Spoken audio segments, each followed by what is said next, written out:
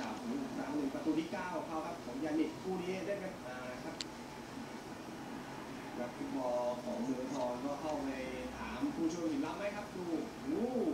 ล้ำครับอืมถึงแม้ว่า ลายก็อาจจะไม่ได้ตั้งฉากตรงสักเท่าไหร่แต่ดูเหมือนจะเหลื่อมล้ำมานะครับขาที่ยืนของยานิกแล้วพอไม่ล้ำอย่างนี้เดียวเดียวต้องโทษไลน์แมนเลอะ ยครับ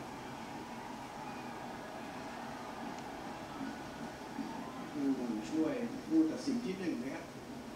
อานินรื่นจิตสำคัญเลยครับประตูนี้นำเร็วอีกครั้งหนึ่งนะครับ เมืองทองก็ซวยเลยครับเริ่มต้นครึ่งหลังมาไลน์แมนก็เสือกตาถั่วเ